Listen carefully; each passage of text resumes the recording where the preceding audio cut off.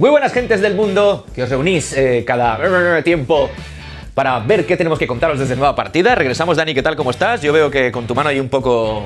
Pues este ha sido el motivo por el que no hemos tenido nueva partida todos estos días, que había gente que me decía, ¿volverá? ¿Volverá? Sí, sí, ya ha vuelto, aquí estamos, hola, ¿qué tal? Mayoría de edad, nivel 18, ¿no? Señor, nos hacemos mayores. ¿Nos llamarán para ir a la mili? Ah, no, que eso ya no se lleva, tío. Menos suerte. Menos mal. Eh, sí, no se puede jugar tanto a la Game Gear, tío. No, la verdad es que trae sus consecuencias, pero bueno. Señor. Estamos de vuelta, con ganas de darle a la actualidad. Vámonos. Y como primer tema que os queríamos traer viene un poco en relación con estos últimos lanzamientos. Quizás, no sé si os habréis dado cuenta algunos, pero se están repitiendo ambientaciones. Tenemos el reciente God of War, que cuando veáis este vídeo ya habremos publicado el análisis, con esa ambientación y mitología nórdica. Tiempo atrás, no mucho, también tuvimos Hellblade, que cogía pues también un poco de vikingo, un poco de celta. Un poquitín más atrás también teníamos Horizon Zero Dawn con esa misma ambientación y tal. Y lo que queremos comentar un poco es tantos estos juegos que mm, quizás ambientaciones que se repiten como este tipo de, digamos, ambientación un poco más realista o un poco más fantasiosa.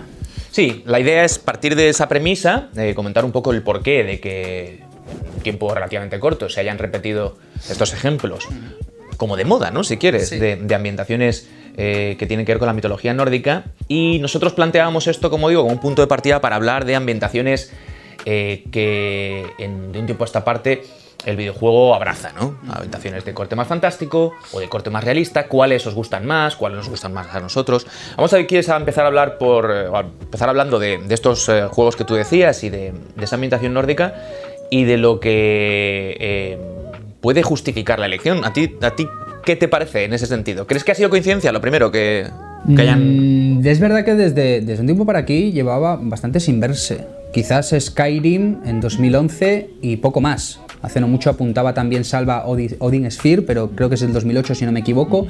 Entonces no es una ambientación que se haya visto mucho tal vez pues sean tendencias dentro de la industria, porque mm, tiempo atrás, muchísimo tiempo atrás en la PlayStation 1 se veían muchísimos juegos bélicos ambientados en selvas eh, del Pacífico Sur y demás, eh, ciertos juegos también posapocalípticos que tenían más o menos el, mismo estilo posapocalíptico de ciudad destruida desértica. Luego también hubo una época de, que se apostaba muy mucho por la, por la distopía, ¿no? Un poco tenemos Bioshock y ejemplos del corte, ¿no? Sí, entonces parece que sí que se tiran un poco por las tendencias. Ahora, el por qué, cuando los videojuegos tienen ese, digamos, ese plazo de lanzamiento tan escaso entre ellos, es decir, no da tiempo quizás a que uno se fije en el otro, ya no lo sé, quizás, y además eh, hablando de títulos como Hellblade y God of War, que no tienen absolutamente nada que ver. Claro. Es decir, solo se fijan en la imitación. Entonces es un poco difícil entender quizás que haya lo que se podría decir, hablando rápido y mal, espionaje industrial, ¿no? Eh, vamos a copiarnos de, porque no da tiempo tampoco a que, a tal, pero parece que, pues, que hay como una mente colmena dentro de la industria que todos piensan en la misma dirección a la hora de ambientar sus títulos. Esa es la forma bonita de presentarlo. Tú hablabas del espionaje industrial o entre compañías, ¿no? Yo no descarto que eso exista, ya no solamente a nivel de ambientación, sino a otros, eh, en otros sectores o segmentos. ¿eh? claro, a nivel jugable, a nivel de planteamiento de fórmulas, bueno, ¿qué vamos a decir de las máquinas, ¿no? Y de cómo el éxito de un dispositivo, de una puesta concreta para jugar, eh, hace que las demás se suban al carro enseguida.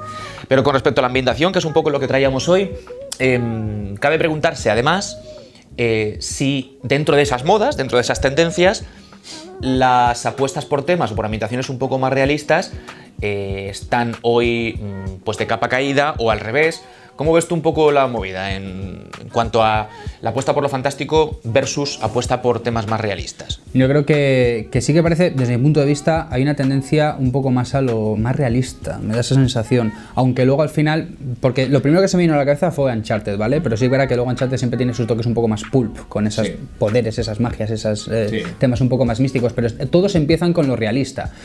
Pero eso realista, repito, con pequeñas pinceladas. Lo vimos también con eh, The Last of Us. Es una imitación posible, mm, con una explicación muy lógica de por qué se ha llegado a ese, a ese momento. Lo vemos, repito, con Uncharted. God of War tiene esa ambientación fantástica, pero parece tener este nuevo God of War también los pies un poco más en la tierra, un poco más serio, aunque nos enfrentemos a hidras gigantescas, pero yo creo que sí, que parece que, se, que el juego dice, oye, queremos contar historias adultas, seamos menos fantásticos en nuestra ambientación. Queremos contar historias un poco más ligeras, luces y colores. Es la sensación que a mí me transmite. Estoy de acuerdo. Y si piensa uno en la evolución del videojuego, como sabéis, eh, yo siempre jugando mi, papel, eh, desde, no voy a decir sus orígenes, pero sí desde hace un par de décadas, ¿no? O incluso tres atrás, mm, la apuesta era siempre casi de forma unánime por eh, lo fantástico, lo irreal, lo caricaturesco, el dibujo animado.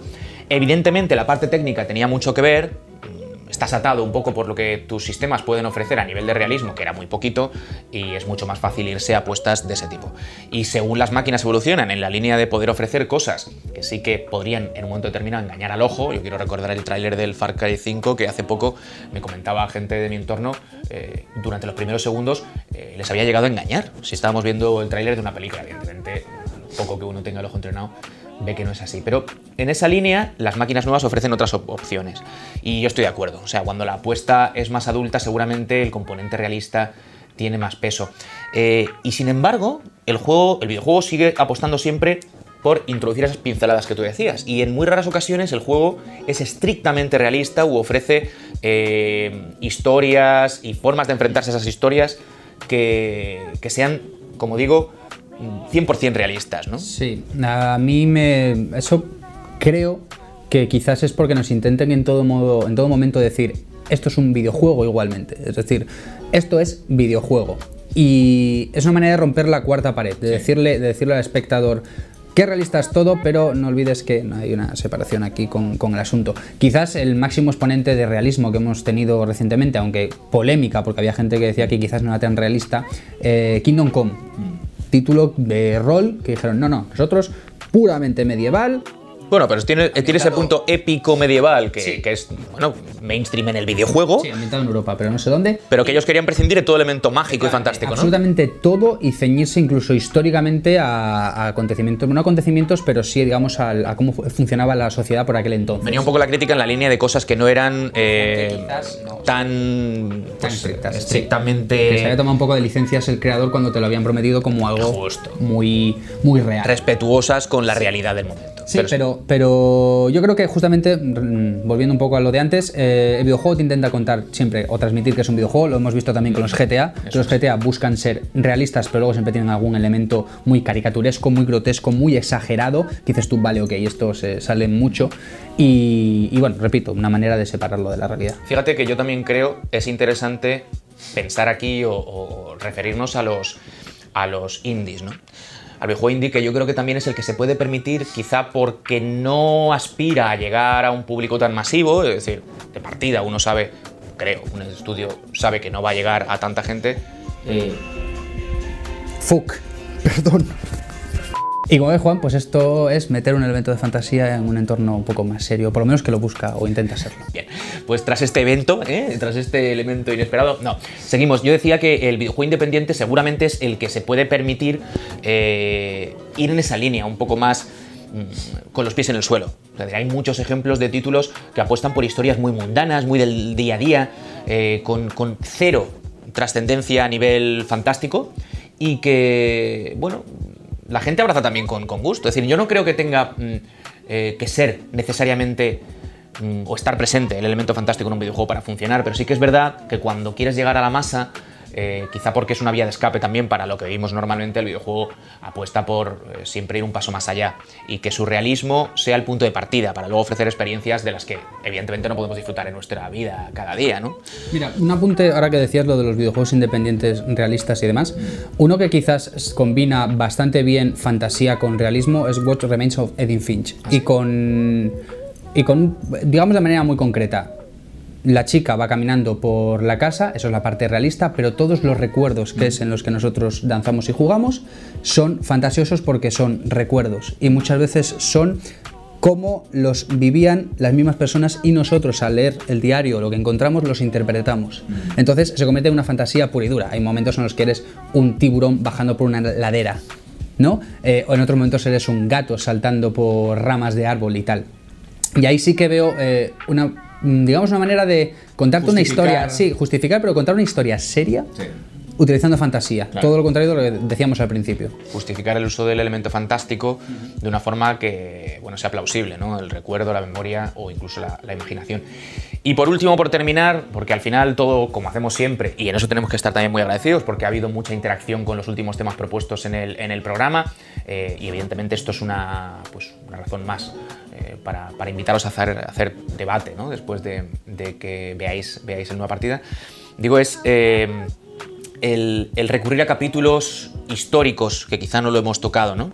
O no lo hemos tocado todavía de forma muy profunda. Se ha hablado un poquito de Kingdom Come, pero capítulos concretos en las guerras, que vamos a decir de ellas? La Segunda Guerra Mundial tan manida, la primera un poco menos.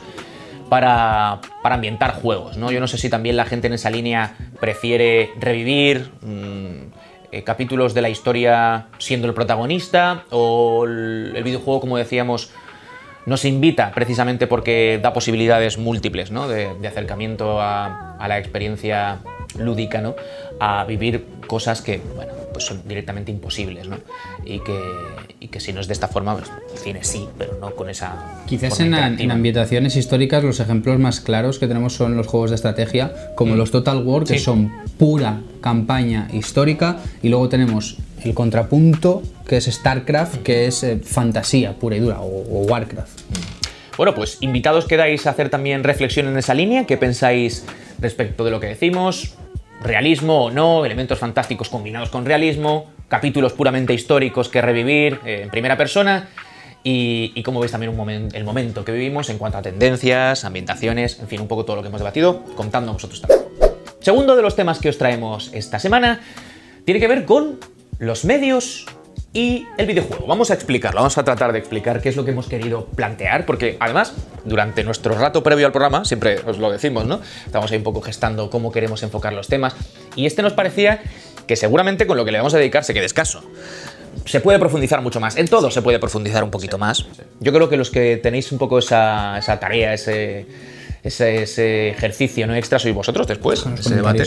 Que por cierto, aprovecho ahora que hablamos de debate y comentarios. Muchas gracias a todos los que escribís, porque en el programa anterior hubo ahí debates muy interesantes con el multiplayer, con el offline y tal, y hay una comunidad muy guapa que se está gestando ahí. No dejéis de leerlos porque esos debates a los que. Enriquecen mucho más lo que nosotros comentamos. Amplían el programa. El programa yo creo que continúa más allá de los minutos que dura el vídeo.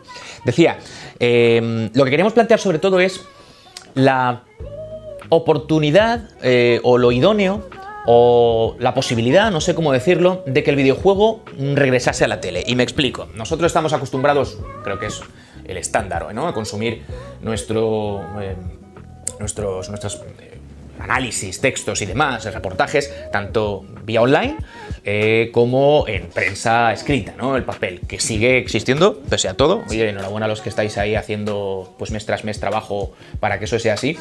Em, y bueno, coexisten de alguna manera.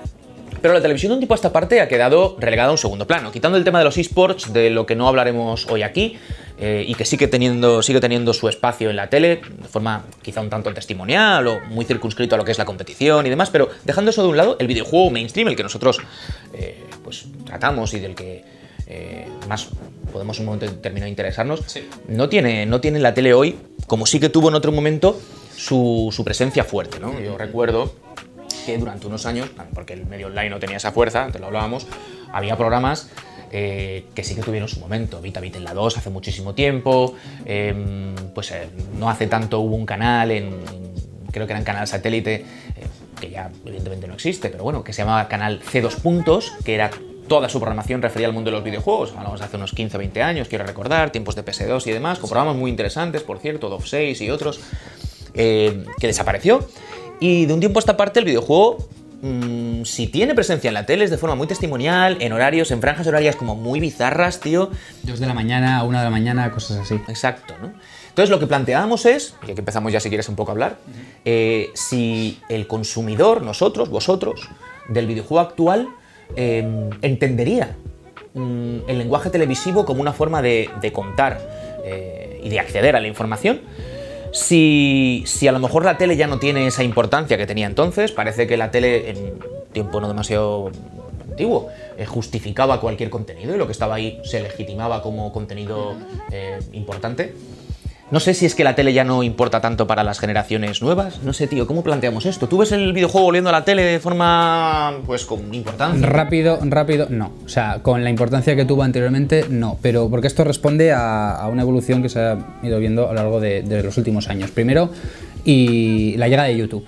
La llegada de YouTube ha hecho que muchos eh, chavales consuman ahí lo que quieren conocer de, sobre videojuegos.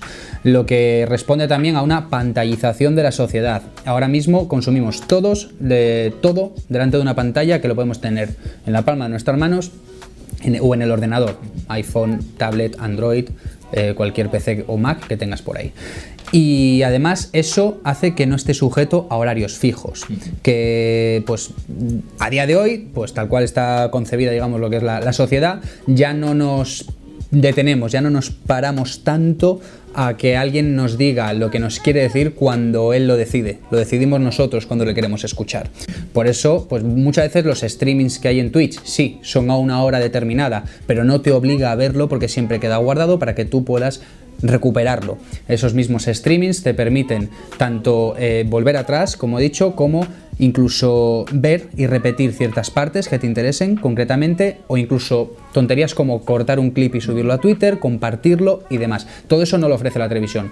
Y a día de hoy yo por ejemplo, sí me crié con una televisión en mi habitación, que mis padres me regalaron cuando tuve cierta edad. Pero ahora no sé por qué me da que los chavales ya no tienen televisión en, la habitación. Tendrán su monitor en todo caso. Efectivamente, para jugar a las consolas. Entonces le estás diciendo a una persona que vaya a ese sitio extraño llamado salón, donde están sus padres viendo Sálvame, que se siente allí y que coja el mando. No, no, yo no creo que los chavales a día de hoy no lo conciben. Mm. Esa, esa opción de sentarse, me lo invento, a las 6 de la tarde a encender la segunda televisión española para ver algo de videojuegos. Has dicho una cosa importante, hablas de los chavales, o sea, te refieres a las generaciones más jóvenes que evidentemente ya están dentro de eso que tú describes. sí, digo, generaciones que ya se han criado con eso. Claro, yo ahora me incluyo también en eso, pero no me he criado de esa manera, claro, pero sí. Pero tú consumes ahora mismo el, pues, tu interés por el videojuego se fundamenta en eso. Me resulta mucho más cómodo consumir algo sobre videojuegos en el misma, la misma plataforma en la que juego, el ordenador, por ejemplo. Claro, supongo que la esperanza para la tele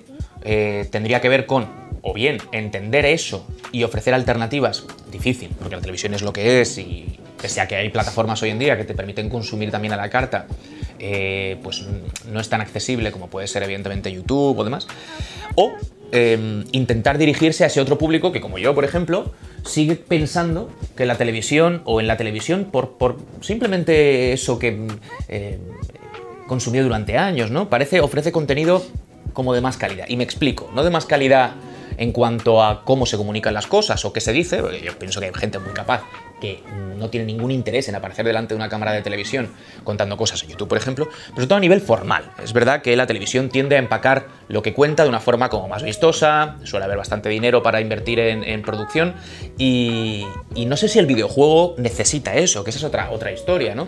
Hasta qué punto se podría justificar una inversión televisiva, hablando estrictamente de videojuegos, y dirigiéndose a un público que pudiese aceptar eso como una forma, pues, eh, interesante para acceder a la información. No, no tengo tan claro, que quizá eso también puede ser la forma de... Mm, es que, porque choca, ¿no? Creo que también, sí, creo que también el problema parte de ahí, el, retorno de la misma inversión. La televisión requiere una inversión muy grande, un equipo de producción igual no muy grande, pero que sí ya lleva muchísimo más dinero que el youtuber en su casa, Exacto. que igual te va a contar lo mismo con una camarita puesta que le ha costado 200 euros como mucho. Entonces, quizás la televisión dice, ojo, cuidado, porque estamos compitiendo con un mercado cuyas producciones son muy pequeñas y vamos a dar casi por lo menos a nivel de información es el mismo tipo de información. Ahora como lo des también es distinto, ¿no? Que también sabemos que los youtubers y los presentadores de televisión se ganan al público por cómo son ellos. Claro. Y en la televisión pues podrás encontrar algo que no te ofrecen los videojuegos. Pero al final luego lo que es objetivo, es decir, la misma noticia te la van a contar en un lado y en otro. Entonces dicen, mm, ¿nos compensa invertir tanto dinero en algo que a lo mejor luego no nos da ese retorno? Claro. Luego también está el punto de quién te lo cuenta. O sea, estamos hablando del medio, estamos hablando de, si quieres, incluso del lenguaje, de lo que tiene que ver con, el dinero que se necesita, pero también el sector de la prensa del videojuego que hoy, de alguna forma, mm, pues lidera o es referente o conoce el consumidor, no tiene formación televisiva. Es decir, lo que hacemos nosotros aquí teniendo ese punto un poco formal, porque bueno, estamos comunicando a una cámara y demás, no deja de ser parecido a lo que puede hacer cualquier otro youtuber en su casa, ¿de acuerdo? o sea, estamos dentro de ese lenguaje. Y no tenemos una formación televisiva al uso.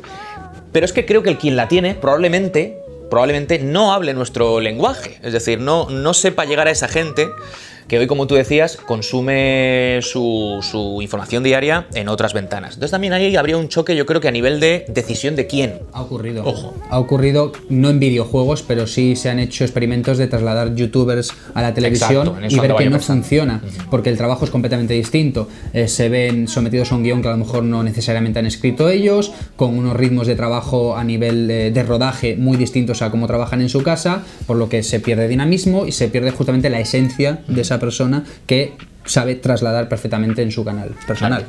Yo pienso, fíjate, que si hay alguna fórmula que podría funcionar en la tele, no tiene tanto que ver con el contar cosas a la cámara, de forma pues, parecida a la que podemos estar haciendo nosotros ahora, porque eso ya hay cantidad de, lugares donde se, se, ofrece, y yo creo que no es necesario ahondar en eso, sino buscar alternativas que quizá, porque se puede disponer de más eh, inversión, eh, pues medios online quizá no estén ofreciendo. Me refiero, documentales eh, que sí que podrían tener un interés social. Estamos acostumbrados a ver cómo Jordi Boleno nos acerca cosas muy interesantes un montón de cosas cada semana y tienen un éxito brutal en televisión. Si ese mismo enfoque, por ejemplo, y estoy soltando a lo mejor ideas que alguien podría decir, ah, mira, qué buena idea, Juan, eh, es mía la idea. Concuerdo, concuerdo perfectamente con lo que dices. ¿eh? Dijesen, mira, por ahí puede haber una vía, es decir, hay mucho que contar en torno al videojuego que no se está contando y que en la televisión sí que podría tener un interés e incluso llegar a público que habitualmente, oyendo la palabra videojuego, giraría la cabeza. Sí. Es decir, anda, no me interesa hasta que me lo cuentan de esta forma o me hablan de esto otro. Eso sí que podría, creo yo, tener cabida en la televisión y, podría llegar a un montón de gente. Sin embargo, parece que no hay mucha gente interesada en hacer algo así. No sé por qué. No de momento, pero yo, yo creo que es algo que sí que puede cambiar con el tiempo porque lo estamos viendo también en papel. Se están empezando a estilar cada vez más las revistas gourmet que te ofrecen una visión un poco alternativa y distinta de lo que hemos visto a lo largo de los últimos años. El papel eh, lleva un mogollón de años en, todo el mundo y está empezando a ocurrir ahora en nuestro país, en España, siempre hablando. Quizás en la televisión, pues dale dos o tres años y podamos ver eh, un periodismo más de investigación, más eh, enfocado a entrevistas, a conocer. Es que sin ir más lejos, eh, Hellblade, que lo comentábamos antes, en su canal de YouTube hizo su propio documental explicando el making of del juego y eso es verdad que lo han hecho en YouTube, pero es un formato puramente televisivo y lo ha petado. Dices tú, ¿en cuándo ver a una persona sentada delante de una cámara eh, con un micro contando cómo es el desarrollo de sonido le interesó a alguien? Pues la manera como lo cuentan, que sí que es verdad que es mucho más de investigación, ellos se pueden investigar a sí mismos, es mucho más fácil también, eh, ha interesado un mogollón de, personas y no solo periodistas. Hay más ejemplos, ¿eh? pero bueno, eh, todos de momento viven en, el mundo online porque, como decimos, el público está ahí. Habría que ver si alguien se, se, lanza. Yo personalmente me gustaría ver eh, apuestas diferentes en televisión, apuestas que tengan que ver, como digo, por temas menos nicho. siento que el videojuego ya de por sí, un, un mundo muy amplio, pero hay mucha gente todavía que piensa que puede ser no interesante porque no están acostumbrados a jugar, no, suelen dedicar tiempo a coger el mando, ¿no? Pero creo que hay cosas que se podrían contar en televisión y me apetecería verlas ahí, más que nada porque yo sigo pensando que la tele tiene un lugar en el, mercado. ¿Que me equivoque? Pues puede ser, quizá por eso no hay nada ahora en, las parrillas, ¿no? La televisión no está muerta, puede coexistir perfectamente como lo hace la radio o la prensa escrita. Chicos, ¿qué pensáis? Como siempre, decidnos qué recordáis o qué os gustaría ver y si creéis que tiene sentido que el videojuego vuelva, vuelva a la televisión de forma legítima y con, contenido eh, que pueda encajar como otros contenidos que tienen pues, un recorrido de muchos años en televisión y, funcionan muy bien, pese a que, pues, oye, a, priori podrían eh, parecer no tan interesantes. O sea que estamos leyendo. Al principio mencionábamos las ambientaciones, comentamos las ambientaciones nórdicas y justamente queremos traeros un avance que no nosotros, lo va a traer Salva del análisis del nuevo God of War de PlayStation 4. Pero bueno, casi mejor, vamos a dejar que lo haga él. Muy buenas compañeros, da gusto volveros a ver, bienvenido Dani, más que nada porque así los de la taberna pues podemos descansar un poco, pero era justo que hoy me invitaras más que nada para poder hablar nada, medio minutito, un minutito de God of War, ha salido el análisis, ya lo habéis visto en Mary Station, ha generado mucho revuelo, era uno de los juegos más esperados y yo creo que ha sido un exitazo, ¿no? Es un título que está en desarrollo de hace cuatro años, que la gente criticó mucho el cambio de perspectivas, si se parecía demasiado de Last of Us, si perdíamos la acción. Santa Mónica y Cory Barlock han conseguido un juegazo enorme, un título que sigue siendo de acción salvaje, con un sistema de combate diferente, no es hack and slash, pero sí que tiene muchas posibilidades. Y sobre todo cuando avanzas pues te encuentras con un sistema que se desata en la segunda mitad de juego, con mucha exploración, el sistema de loot, recursos para conseguir más, más equipo, una historia que engancha, Atreus el hijo es todo un acierto y aporta muchísimo a Kratos y al jugador y un tramo final cuando acabas la campaña con desafíos enormes, con muchas cosas por hacer y un portento técnico, sin duda, uno de los 3, 4, 5 mejores exclusivos de PlayStation 4. Leeros el análisis en PlayStation, vete el video análisis que hemos hecho con Dani y seguro que os gusta porque el título tiene pintaza, sale el próximo día 20 si no me equivoco y a nosotros nos ha encantado. Bueno chicos, pues como siempre, eh, invitándos, lo hacíamos hace un segundito, a vuestra participación, invitándoos a participar en estos temas de debate que os traemos. Nosotros sembramos un poquito la historia, ponemos esa semilla ahí y nos gusta ver cómo crece la cosa después en los comentarios y cómo entre vosotros sí.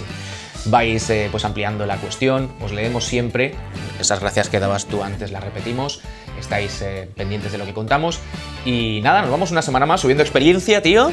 Dejadnos en los comentarios temas que queréis que tratemos, que no nos olvidamos de vosotros, porque luego gente como Zafiro nos dice, interesante programa, pero se os ha olvidado la sección de comentarios. Dejadnos ahí abajo y en el programa siguiente lo rescatamos. Zafiro que dejó un tema, pero como Miguel te lo tratamos en el podcast de esta semana, hemos preferido no volver a, hacerlo. Muy bien, pues ese apunte que os manda Dani son los deberes y yo me vuelvo a repetir en el agradecimiento por vuestra fidelidad. Y dentro de, bueno, espero que dos semanitas regresamos. Subiendo con nivel, como cada semana, en nueva partida en Mary Station.